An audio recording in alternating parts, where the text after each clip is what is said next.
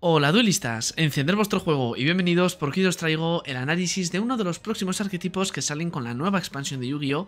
en este julio de 2024 llamada Infinito Prohibido y es que hablamos de la temática de Milenario. Milenario que más bien va a ser la temática de Exodia, lo vamos a decir con todas sus letras.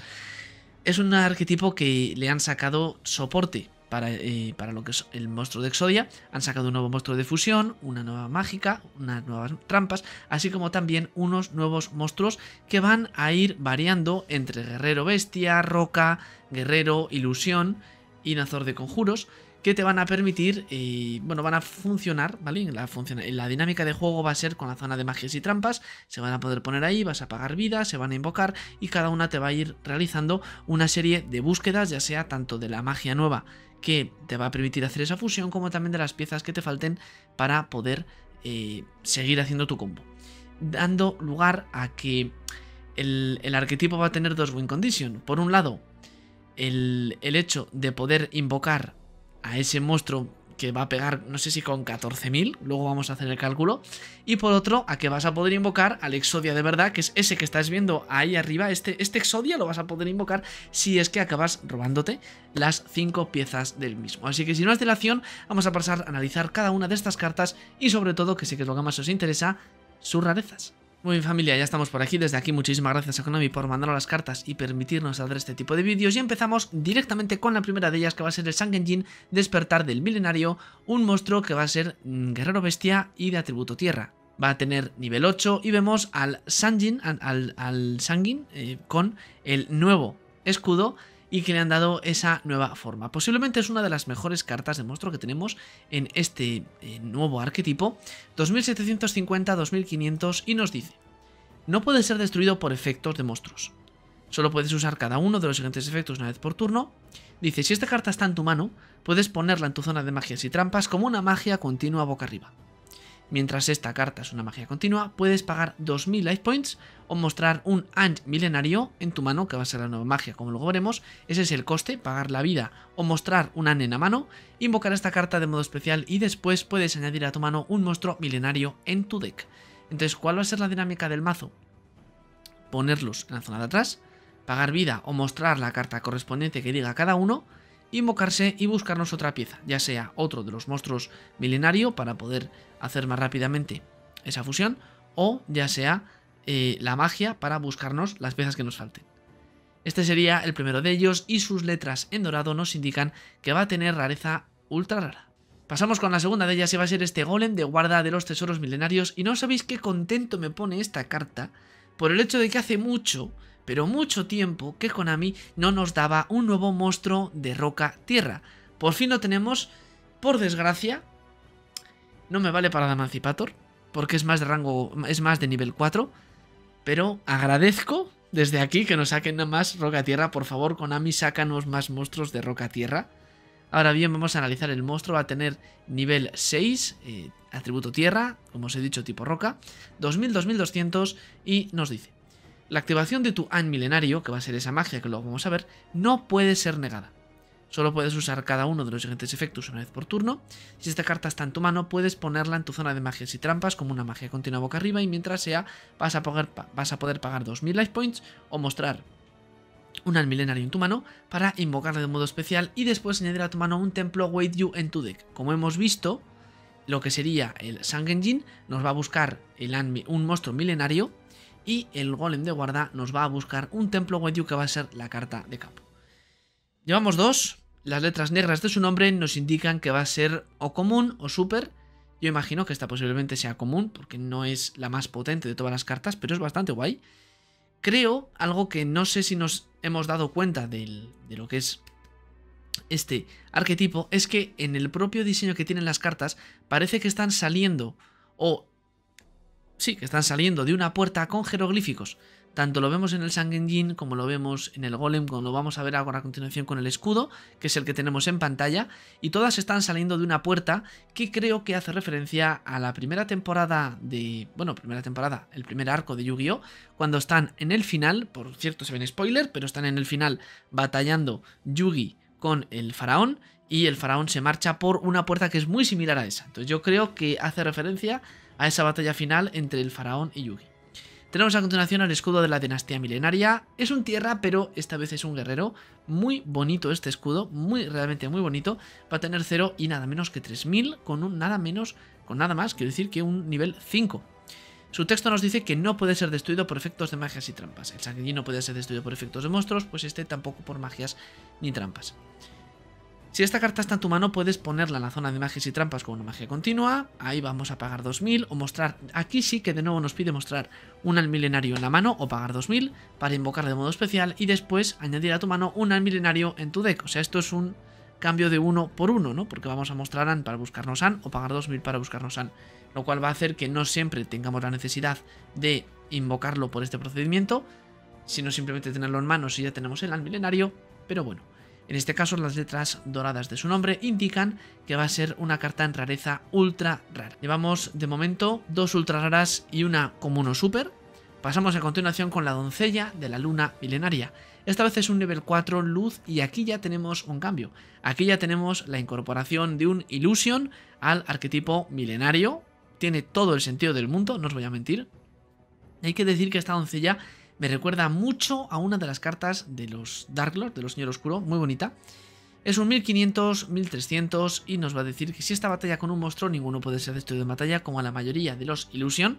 Solo puedes usar cada uno de estos efectos una vez por turno. Ahora, si está en la mano, la puedes poner en la zona de magias y trampas con una magia continua.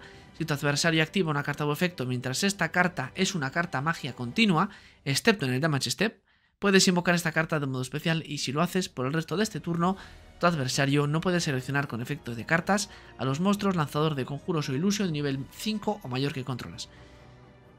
Esta carta es algo compleja porque por un lado es una ilusión que no puede ser destruido en batalla ninguno de los monstruos que batallan, ¿vale? Pero luego el hecho es que aquí ya no vamos a tener que pagar vida para invocarla y poder hacer una búsqueda, sino que aquí es el momento en el que el oponente activa una carta o efecto se va a invocar y nos va a proteger de, selección a los lanzadores de conjuros e ilusión de nivel 5 mayor, pero es que ella es nivel 4. Entonces... Pero bueno, creo que es un efecto que es, es, lo que llaman... Bueno, no sé cómo se llama, pero creo que en el momento en el que ya entra a campo, resuelve y ya creo que aunque le tiremos impermanence, debería de estar resuelto.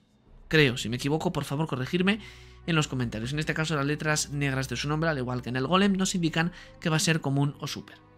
Vamos a pasar con la siguiente de las cartas, que va a ser el reflejo de demonio milenario. Aquí ya cambiamos en lo que, bueno, vamos, vemos viendo que son diferentes tanto tipos como atributos, lo cual nos va a permitir jugar poder cambio One, pero no por emparejamiento, ni por rivalry. Tenemos reflejo de demonio milenario, es un atributo viento, es una ilusión y va a tener nivel 4. 1300, 1400 y aquí ya tenemos, pues bueno, a mí me recuerda como a un murciélago, mm, no sé, un ave. Tenemos, si esta carta batalla con un monstruo, ninguno puede ser destruido en batalla como ilusión. Solo puedes usar con otros efectos una vez por turno. Si esta carta está en tu mano, aquí sí que la puedes poner como una magia continua boca arriba.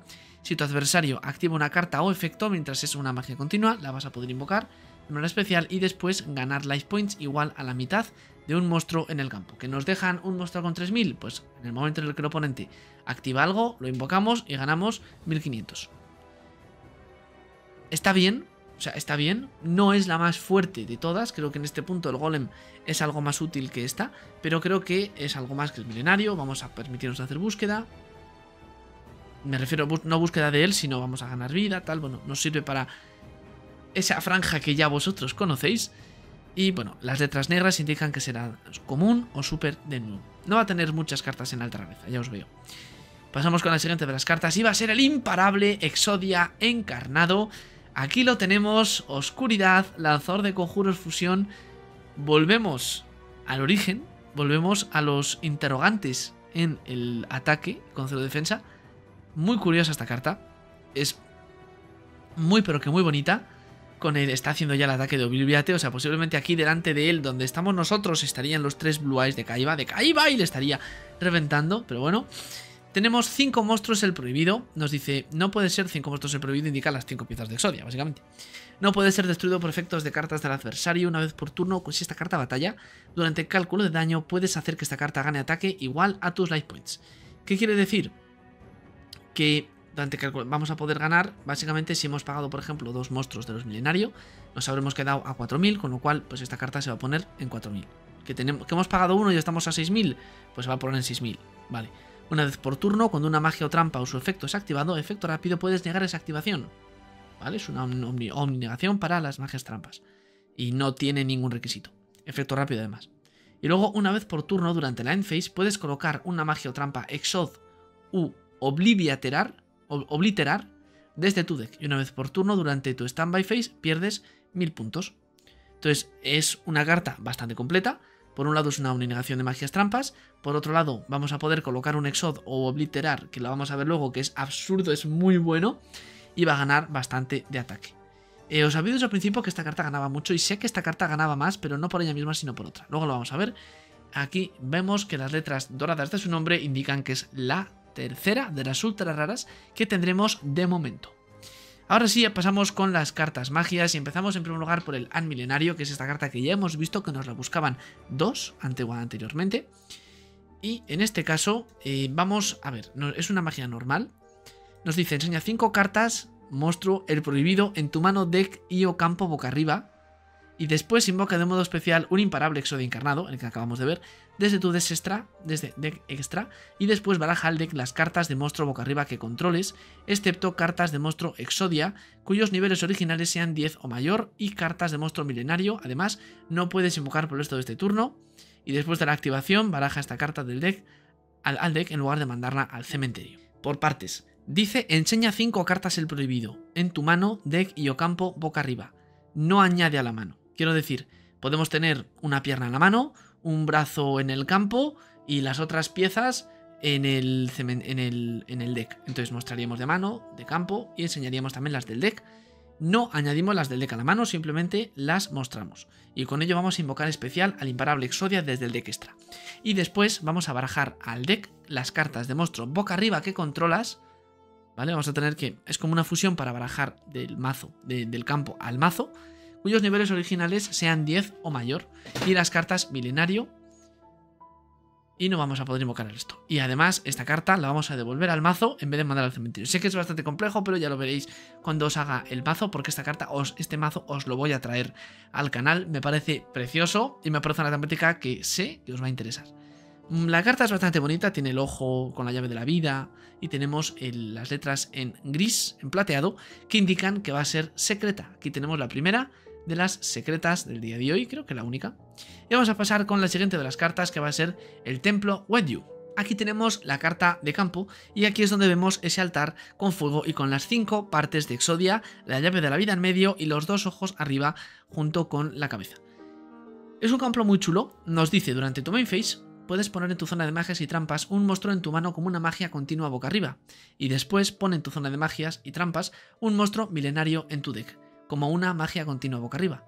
Es decir, que si nos robamos una flor de ceniza y primavera feliz, vamos a poder ponerla en la zona de magias y trampas y después poner un milenario desde el mazo. eso está bastante bien, nos acelera el acceso a esas piezas de los milenarios para poder empezar a hacer cosas. ¿Qué quiere decir eso? Que vamos a poder poner al Sangenjin y el Sangenjin nos va a buscar otra carta. Vamos a poder poner el, el, el Golem y vamos a, a buscar en su caso el Sangenjin, por ejemplo, ¿vale? Solo puedes usar este efecto una vez por turno y dice, si uno más monstruos milenario, milenaria, boca arriba, que controlas son destruidos en batalla por efecto de una carta, puedes ponerlos en tu zona de magias y trampas como una magia continua en lugar de mandarlos al cementerio. Esto me recuerda mucho a un arquetipo que no recuerdo ahora mismo cuál era, no me acuerdo si era cúbicos, que, pero creo que era cúbicos, que cuando no, no, no, cúbicos no. Cúbicos, el Villam se podía poner atrás, pero los que se, ponen a la zona de magias y trampas eran los Crystal Beast. No caía, me ha costado llegar. Los Crystal Beast ya sabéis que si se van a dejar el campo, se destruyen tal, pues se ponen en la zona de atrás. Pues en este caso pasa lo mismo. Teniendo el campo, si nuestros muertos milenario van a ser destruidos en materia por efecto, los ponemos atrás, lo cual nos va a permitir en nuestro turno luego, por ejemplo, pues poder o incluso estamparnos, ponerlo atrás y volver a hacer efecto para volver a invocarlo, ¿vale? Entonces, el campo la verdad es que está bastante bien.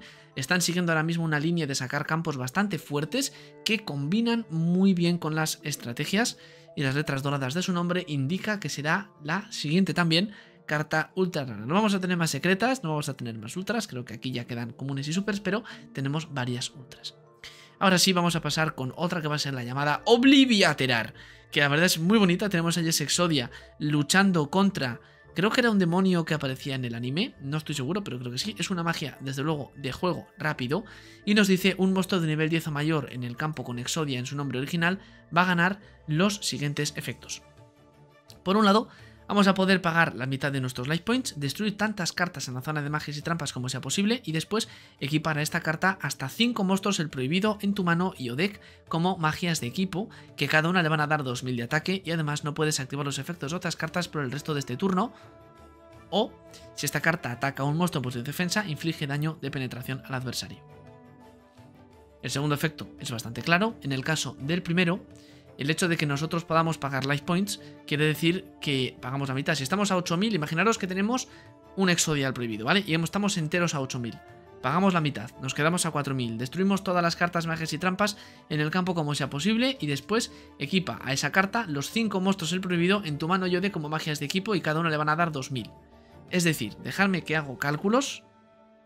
Si tenemos 8000 puntos de vida lo dividimos y nos quedamos en 4.000 porque pagamos la mitad para activar esta carta. Le equivamos 5 y cada una de esas 5 le van a dar 2.000. Le vamos a dar, eh, en ese punto, el Exodia va a ganar igual, de, igual ataque a nuestra vida, con lo cual tendría ya 4.000. Le damos 10.000, lo ponemos, es una suma bastante simple, lo ponemos en, en 14.000 de ataque. Nada mal para pasar por encima de un Blue Eyes, ¿no? O por encima de 3 Blue Eyes o de los que quiera, porque son 14.000 puntos de ataque, ¿vale? 14.000 puntos que luego van a ser 13.000 porque, porque vamos a perder 1.000 en el turno siguiente, por el propio hecho del Exodia, que ya lo hemos visto, el Exodius, pero que además niega magia, ¿vale? O sea, tela. Las letras blancas de su nombre indican que será común o super. Y vamos con la última carta del día de hoy, que va a ser llamadas de ira Exoz, que va a ser una carta de trampa normal y además en cuyo imagen podemos ver al Exodia cargándose a esos tres Blue Eyes de Kaiba. Está haciéndole efectivamente ese Obliviater. Vale, tenemos, como os digo, trampa normal. Nos dice, esta carta se trata siempre como una carta Exod y Obliterar. Si controlas un monstruo Exodia de nivel, 5 de nivel 10 o mayor, destruye todas las cartas que controle tu adversario. Si esta carta está en tu cementerio, excepto en el turno en el que fue mandada allí, puedes desterrarla y después activa uno de los siguientes efectos. Añade a tu mano un monstruo el prohibido en tu deco cementerio o baraja al deck hasta 5 monstruos prohibido en tu cementerio y o destierro. Solo puedes usar cada efecto una vez por turno. ¿Qué ocurre con esta carta?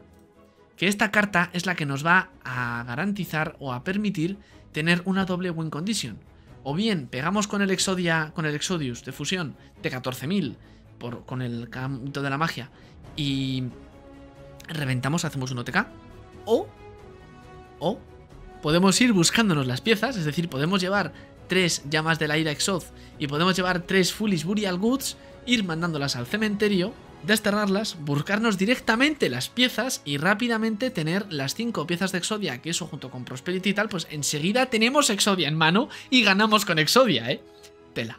Esta carta me parece increíble y creo que la vamos a ver mucho. Las letras blancas de su nombre indican que será común o super. Muy bien familia, pues hasta aquí el vídeo de hoy. Como siempre, gracias a Konami por mandarnos las cartas en digital y poder hacer este tipo de vídeos. Y estamos deseandito de tener eh, ya el set de Infinito del Prohibido, que lo vais a ver en apenas unos días en el unboxing en Premiere en el canal, tanto en mi canal como en el de mis compañeros. Un abrazo y nos vemos en el siguiente vídeo. Hasta luego.